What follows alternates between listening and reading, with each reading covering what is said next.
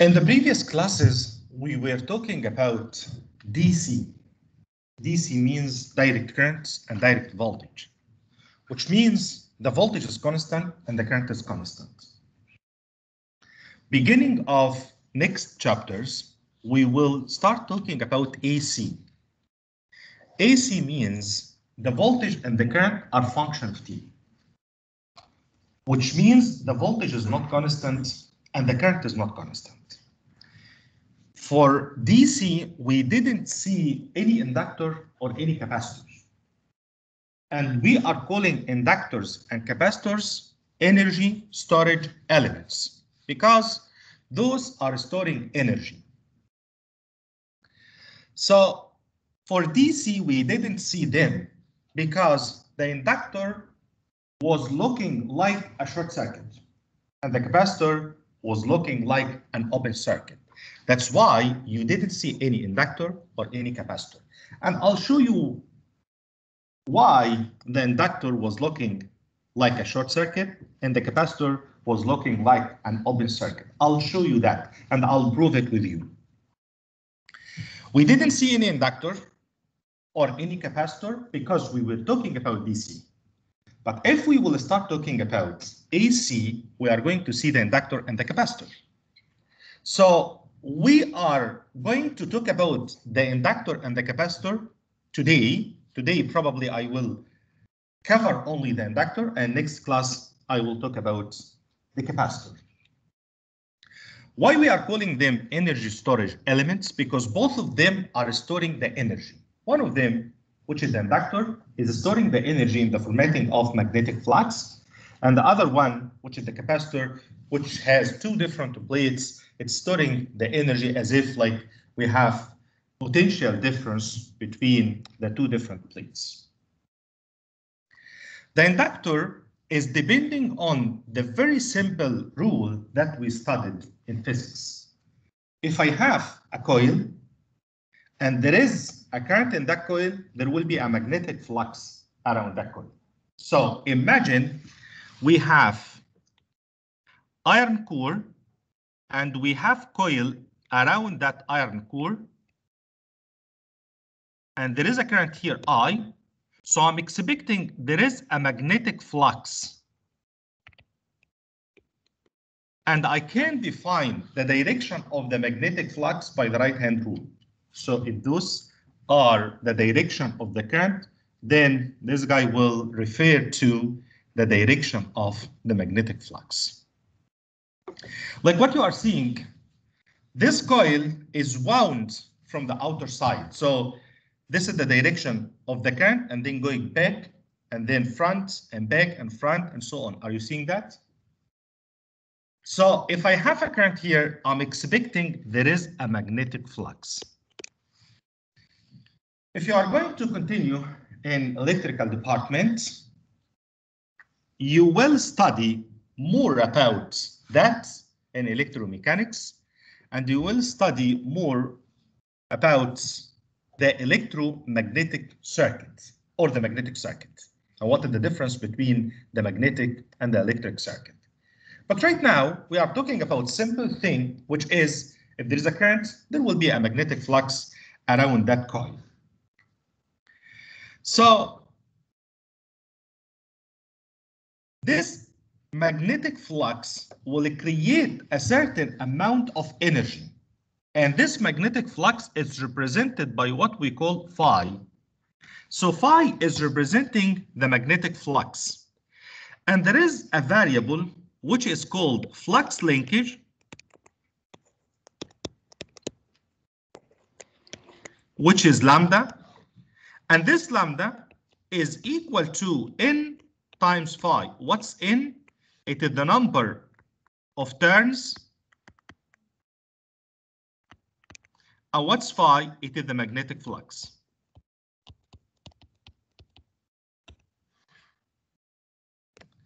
So lambda also is represented as a function of something called inductance multiplied by the current.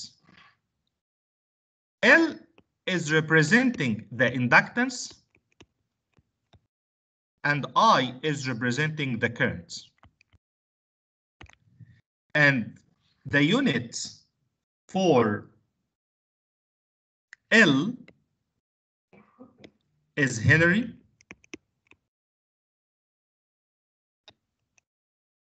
And we are using H to represent that, or we prepare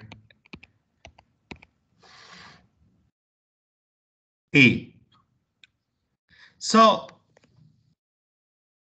L is represented by this symbol. If there is a current I, this guy is L. This is similar to what we studied in case of the resistor. If I have a current, there is a resistance. And there is a relation between the resistance, there is a relation between the resistance and the current. V is equal to I times R. Here, in case of the inductor, there is a relation between I and L. But actually, the voltage V is not equal to I times L, like in case of the resistor. V is equal to I times R. But here, V is equal to L di by dt. So if there is a current I, there will be a voltage V. But V is equal to L di by dt. From where we got that? We got that from Maxwell equation, which is called Faraday is law, which is one of Maxwell's equations. He said what? He said the voltage V is equal to d lambda by dt, which is equal to d lambda is equal to Li divided by dt, which is equal to L di by dt. If we are talking about coil and we don't have moving parts, we are expecting L as constant. And electromechanics, you are going to study with us that L is not constant because we have rotating parts. If I have some contactors, if I have arm that will move to close a circuit or open the circuit, at that time, the inductance is not constant. But in our case, since we don't have rotating parts, we are talking about coil not moving. At that time, L is equal is constant. That's why I put L outside the derivative, which means V is equal to L di by dt. Also, I can say V is equal to N d phi by dt. And this is what we studied in physics. So the unit for L is Henry or Weber per ampere. But generally speaking, we are using Henry to represent the units for the inductance L. Again, the voltage is equal to L di by dt. So what I need from that part is, if I have a coil, and there is a current I, there is an inductance L, and there is a voltage across the coil V, and V is equal to L di by dt. Again, I'm repeating L is constant because I'm not talking about moving parts. I'm talking about stationary machine or stationary system. That's why I'm assuming L is constant. If you will study electromechanics, you will hear something else. So V is equal to L di by dt. If you would like to find the current I, we studied that we can find current I by using separable method because this is first order, right? Differential equation. I can find I by moving this guy to the other side, dt, and then find the integral for both sides. And by doing that, you can find the value of the current I. But right now, we know that V is equal to L di by dt. Let us go back to what I said at the beginning of the class. We didn't hear at all about the inductor or the capacitor in the previous problems, right? We were dealing only with resistors.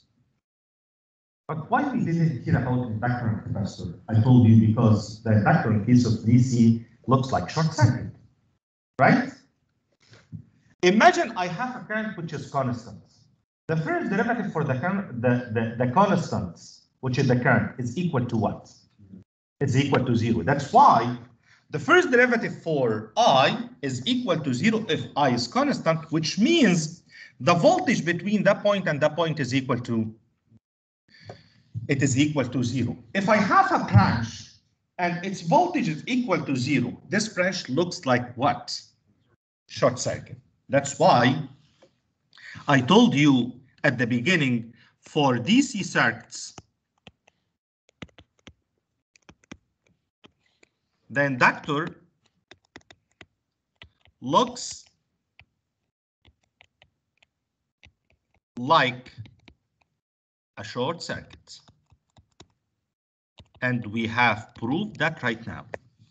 Because if you are talking about DC, the first derivative of I with respect to the time is equal to zero, which means V is equal to zero. That's why the inductor looks like a short circuit. What I need so far is to know the equation of the voltage across the inductor.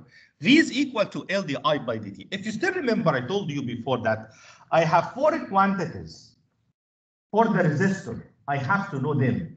The first one is the voltage. V is equal to I multiplied by R. Do you still remember that equation? V is equal to I times R. This is in case of the resistor. And the second equation is I is equal to V over R. And the third equation is the power equation, which is equal to what?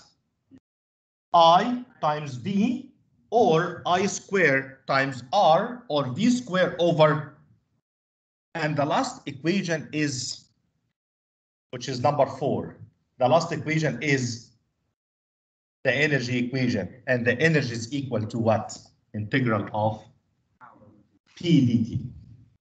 I'm going to repeat talking about those four quantities in case of the inductor. And I'm going to repeat talking about those four quantities also in case of the capacitor. So I have four quantities. I would like you to know them for the resistor, the inductor, and the capacitor. And those four quantities, everything is depending on them.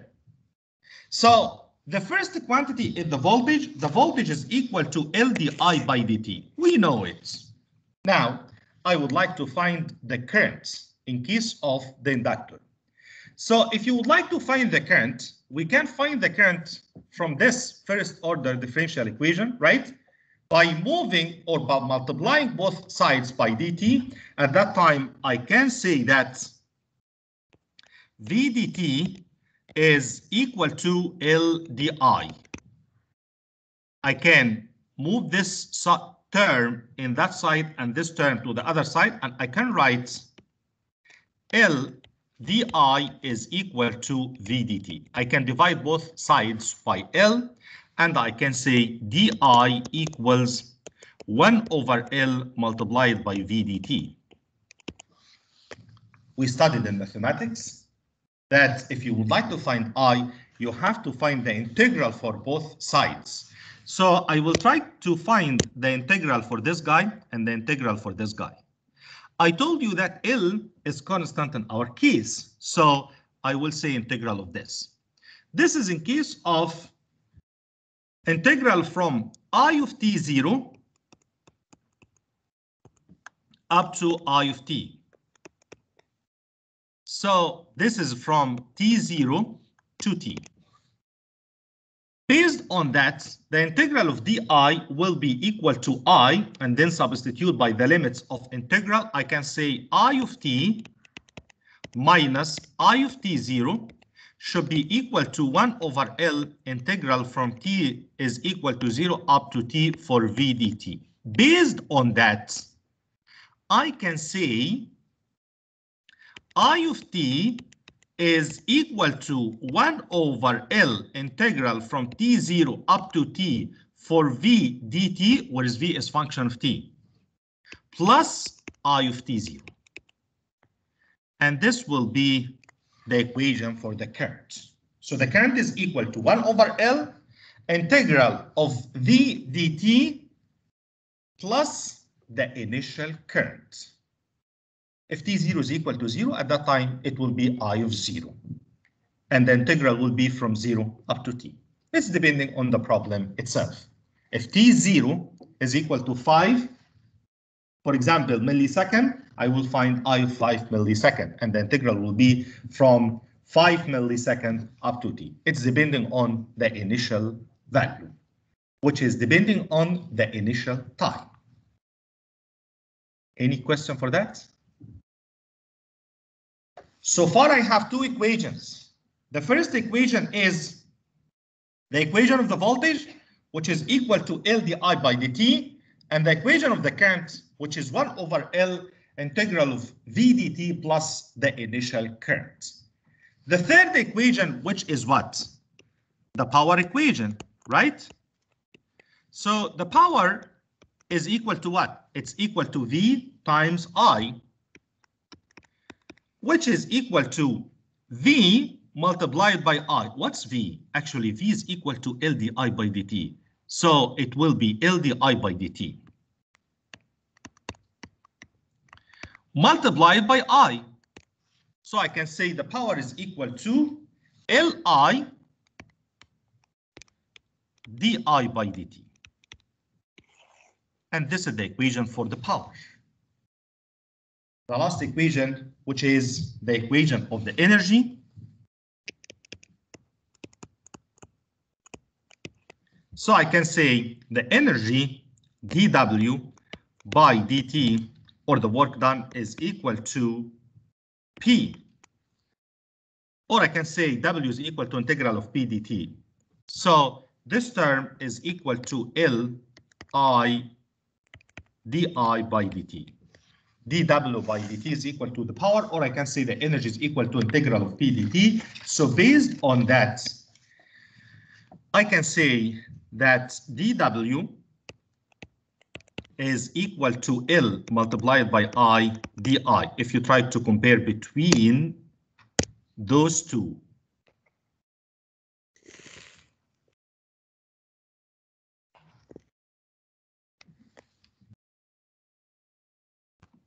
So based on that, I can find the integral for both sides.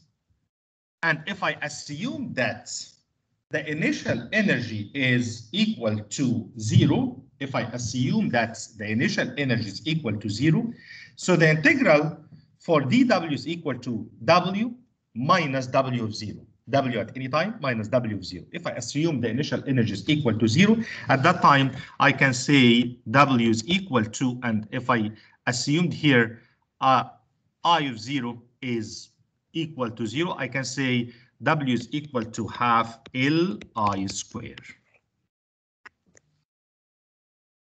So what I need to know, I need to know four equations. I don't need to know all of these details that I have already derived them for you. What I need to know, I need to know four different things. Number one, if I have a coil here and I have a current in the coil, there is a voltage across the coil V, and V is equal to L di by dt. This is the first equation. The second equation, I of t is equal to 1 over L integral of V dt plus the initial current from T0 up to T. This is the limits of integral. And number three, the power, it is equal to V multiplied by I. And number four, the energy, it is equal to integral of Li di. This is what I need to know. And this what I need to use for helping me solving any problem related to the inductor so far. I need to know these four equations. And I'm going to define four different equations for the capacitor as well. But before leaving that part, if I have different inductors connected in series, what's L total? And if I have different capacitors connected in parallel, what's L total? The inductor looks like the resistor. So if I have series inductors, L total is equal to the summation. If I have parallel inductors, 1 over L total is equal to 1 over L1 plus 1 over L2 and so on. So I can say series capacitors, sorry, series inductors. If I have some inductors connected in series like that, L1, L2, L3, V total, sorry, L total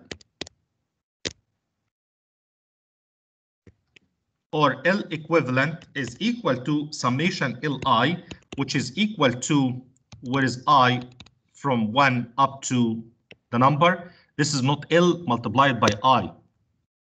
I is subscript here. So this is L subscript I, which is equal to L1 plus L2 plus L3 and so on. If I have inductors connected in parallel, so I can say that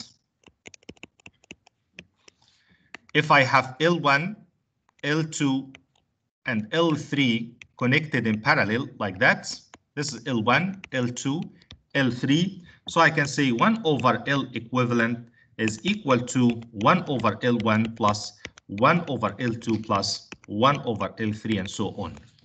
Now you can prove that if you want, like what we did in case of the resistor by using V total and I total.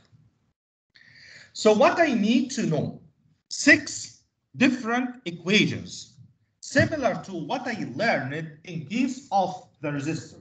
Number one, what is the voltage equation? V is equal to LdI by dt. Number two, what is the current equation? I is equal to 1 over L integral of V dt plus the initial current.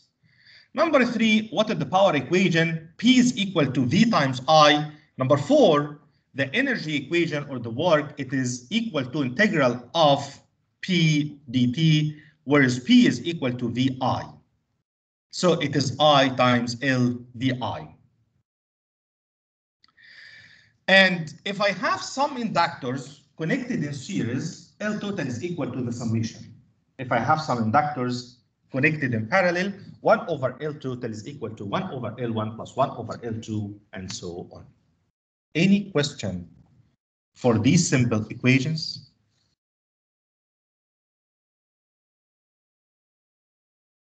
Let us see problem which is related to that story.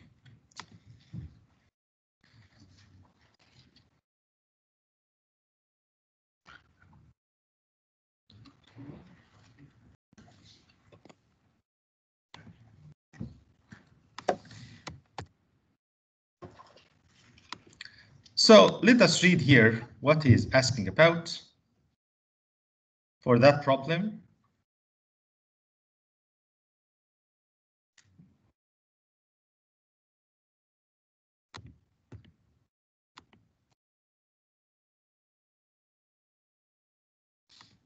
So application of energy conversion, conversion from photovoltaic voltage to AC.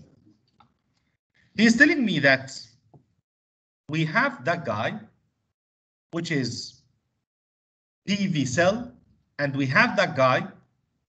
So we have PV cells here and PV cells over there. And we have electronic switches. And there is a coil here. And the inductance is equal to 2 Henry. And the output voltage is defined by this graph. So the voltage across this guy is defined as VPV, which is 24. So this guy is 24, and this guy is negative 24. From 0 to 8 millisecond, and from 8 millisecond to 16 millisecond, it is defined as negative 24 volt. And then he is asking, he told me that I0 is equal to negative 48 milliampere. And then he is asking me to find the current equations and to draw the relation between the current and the time. We didn't start solving any problem, and I give you that problem. I am your situation, and you are giving me that problem in the final exam, and you didn't train me, I will not solve it, right? Because from where I can read it, I didn't see before PV cells. I didn't see before AC voltage. Right? And you are giving me the initial current. I didn't see, what that? I didn't see those guys before. So how come you are asking me to solve such a problem? If I'm in your situation, and it is the first time for me, I think I will not solve it. But if I sit for a couple of minutes and I started thinking, I will realize that I don't need all of these details. But why I give you all of these details to steal? This is what I would like to do, but you know the secret, don't be scared. So I will look to the problem, what you need, you would like to find the current. What is the equation of the current? What is the equation of the current? 1 over L. Do we have L? Yes. Integral of V dt. Do we have V across the coil? Yeah. Plus the initial current. Do we have the initial current? Yeah. So solving the problem is very easy. I'm going to apply the equation only. I don't need to understand what is inside, but I will show you what I mean. But you don't need to understand what is inside that if you would like to solve the problem. So what you have to do is, you know the voltage, but the problem here is the voltage is defined by two different definitions. So I'm going to find the equation of the current two times based on the definition of the voltage. From 0 up to 8 millisecond, I have definition of the voltage, which is 24. And from 8 millisecond to 16 millisecond, I have negative 24. So I'm going to solve this problem two times by plugging in my equation. I t is equal to 1 over L, which is given here 2. Integral from 0 up to t. And the n for t is 8 milliseconds. For 24 dt plus the initial current, which is negative 48 milli. And I will solve the problem, and I will find the currents as a function of t. And I will try to repeat solving the problem again, starting from 8 milliseconds. But I need starting from 8 milliseconds to find the initial current, the new initial current. Am I going to use the same initial current? No, this is the initial current at zero. I will substitute in the equation of I to find the new initial current and repeat solving the problem. This is the story. It is straightforward, and I'll, I'll show you that. But I would like you to understand what is inside that picture. If you try to look, but you don't need to solve the problem, you don't need. So what he gave me, he gave me electronic switch. This switch is working for a certain period of time, and this switch is working for a certain period of time. So he told me the output here is equal to 24.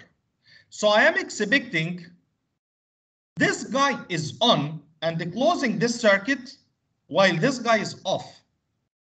At that time, I have current here going in that direction to that coil. So the direction of the current is from right to left. That's why I have VO positive. This is from 0 to 8 millisecond.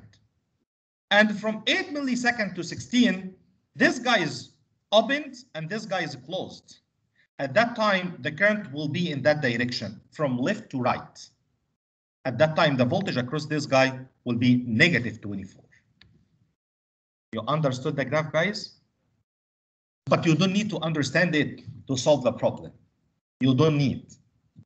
Now, let me talk about how to calculate the current, what I need, I need to write the equation of the voltage. So for the voltage, VO, actually VO is defined by two definitions, 24 and negative 24. This is what he told me, 24 from 0 to 8 millisecond. So from 8 to 0 or from 0 to 8 millisecond. And after that, from 8 millisecond up to 16 millisecond, it is defined by another definition, which is 24 with negative sign. I would like to find the equation of the current. So the current is equal to what? I will write the equation of the current. The equation of the current is I of t equals 1 over L integral from 0 to t for V, uh, not from 0, actually from t 0 up to t for V of t dt plus the initial current. So for V out equals 24 between 0 and 8 milliseconds. Don't forget, he gave me the initial current, which is this guy. I of 0 is equal to negative 48 milliamps. Yeah. I will substitute in this equation. So I will say I of t equals 1 over L. He gave me L, I forgot the value. It's 2, yes, 2. Integral from 0 up to t, not from 0 to 8, because I, I would like to find the equation. I would like to find the equation of the current. That's why I'm saying from 0 to t, not from 0 to 8. I know that the last time will be 8, but I don't like to find value. If you put from 0 to 8, you will find value. I don't like to find value. I would like to find equation for the current, to find the current at any time, from starting from 0 to any time. And the maximum time that I have for this equation will be 8 milliseconds. This is one of the common mistakes. All of you are putting here 8. Most of you are putting 8, which is totally wrong. From 0 to 8, because you would like to find the equation for the current. So integral from 0 to, uh, to t, for v of t, what's v? It's 24. dt plus, what is the initial current? It's negative 24 milliamps. Oh, sorry, 48 milliamps.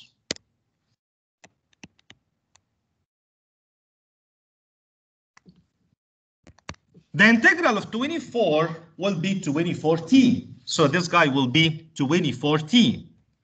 So half multiplied by 24t minus 48 milli. This guy will be equal to 12t minus 48 milli, which is 48 multiplied by 10 to the power negative 3. This is the equation for I of t for the first period. The next step is to talk about the next period, starting from 8 millisecond. So I'm going to substitute here by t is equal to 8 millisecond to find what?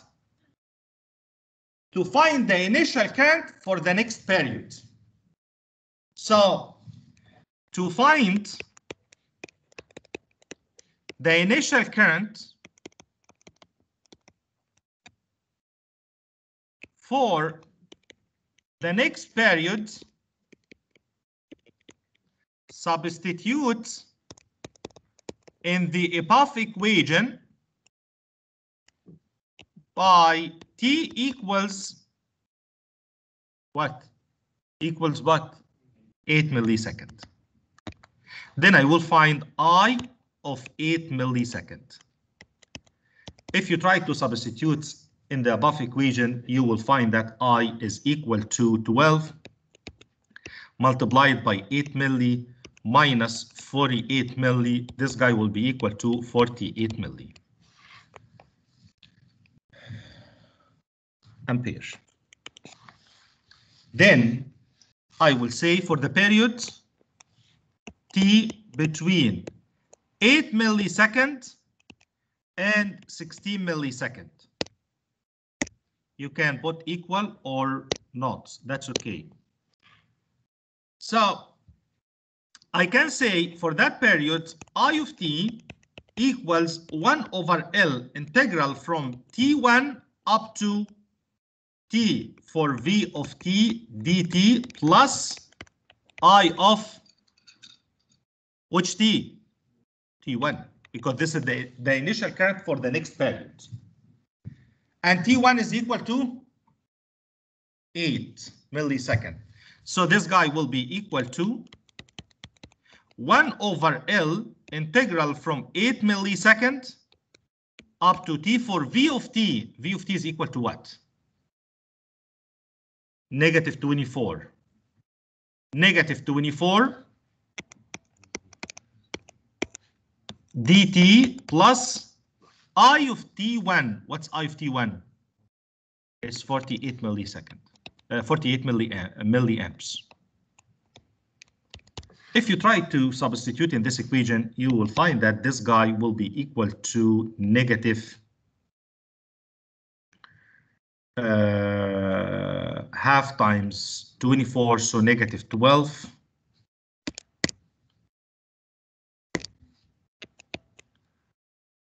Uh, times t from 8 millisecond, right, up to t plus 48 milliamps. So you will substitute in this guy and you will find that I of t will be equal to negative 12 multiplied by t negative 8 milli plus 48 milli and based on that you can find the relation between the time and the current I in milliamps and the time in millisecond. I think you started at t is equal to zero, the current was negative 48. So here we are starting from negative 48 milliamps. This is zero, and this is 8 millisecond, and this is 16 millisecond. So for 8 millisecond, I think the current was 48. So the current here was 48. And this is equation for of straight line. And you will substitute in this equation by t is equal to 16. So if t is equal to 16 here, 16 minus 8 will be 8 times 12 will be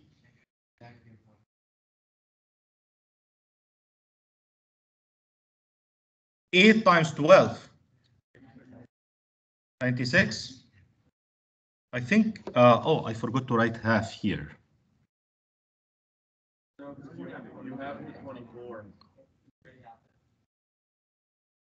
So one over L, which is two.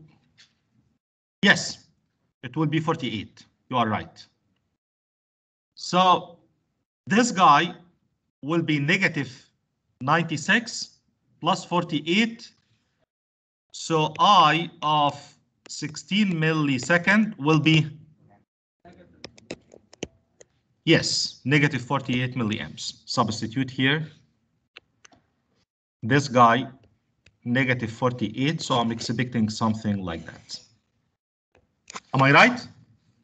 And why this is straight line, why it is not curved? Because the equation doesn't have t square. It's a straight line. That's why I connected those points. Any question for this problem? Like what you are seeing, I'm not doing something which is hard. I'm trying to substitute in the equations. But the problem is we are using the mathematical equations to find the integral and the derivatives. We are using the mathematical background that we have already learned to find the integral, and some few hate finding the integral. But you have to know it. Let us see another problem very quick. I think we still have five times, uh, five minutes. Five minutes. Yes. Yeah.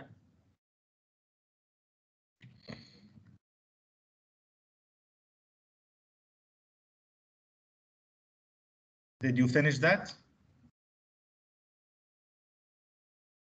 Let us see another problem. Which is that? He is telling me here. Let me copy this guy.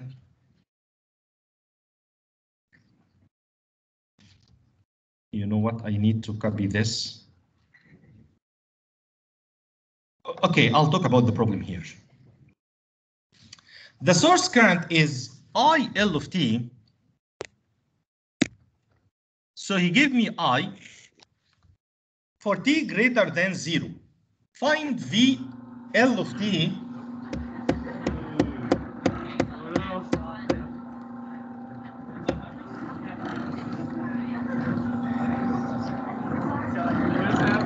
he he doesn't like me to continue. Okay, that's okay. So you are not seeing anything right now. And it will take a couple of uh, minutes to start warming up. So probably I will not talk about it today. Probably I'll talk about it next class. Uh, but before leaving, before before leaving, where is it? Uh, let me stop recording.